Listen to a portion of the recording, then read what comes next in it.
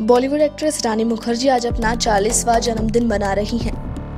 बता दें कि रानी मुखर्जी इन दिनों अपनी अपकमिंग फ़िल्म हिचकी के प्रमोशन में जोरों शोरों से लगी हुई हैं। और हाल ही में यशराज फिल्म्स टैलेंट की ओर से रानी मुखर्जी का एक वीडियो शेयर किया गया है, जिसमें वो अपने चालीसवें जन्मदिन का पहला केक काटती हुई नज़र आ रही हैं।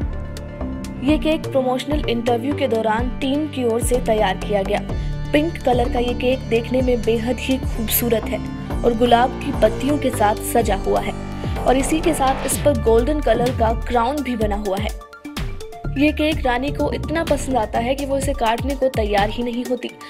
हालाँकि टीम के बार बार कहे जाने पर रानी ने बर्थडे केक काटा। वैसे इस दौरान रानी मुखर्जी की बेटी आदिरा भी उनके साथ थी। जहाँ तक बात की जाए, रानी मुखर्जी की फ़िल्म हिचकी की। तो इस फ़िल्म में रानी एक ऐसी महिला का किरदार अदा कर रही हैं, जो अपनी एक विशेष कमी से उभर कर आगे बढ़ती हैं। देश और दुनिया की ताज़ा तरीन खबरों से जुड़े रहने के लिए हमारे चैनल को सब्सक्राइब करना बिल्कुल भी ना भूलें, ताकि आप तक पहुँचता रहे हमारा हर लेटेस्ट अपडेट।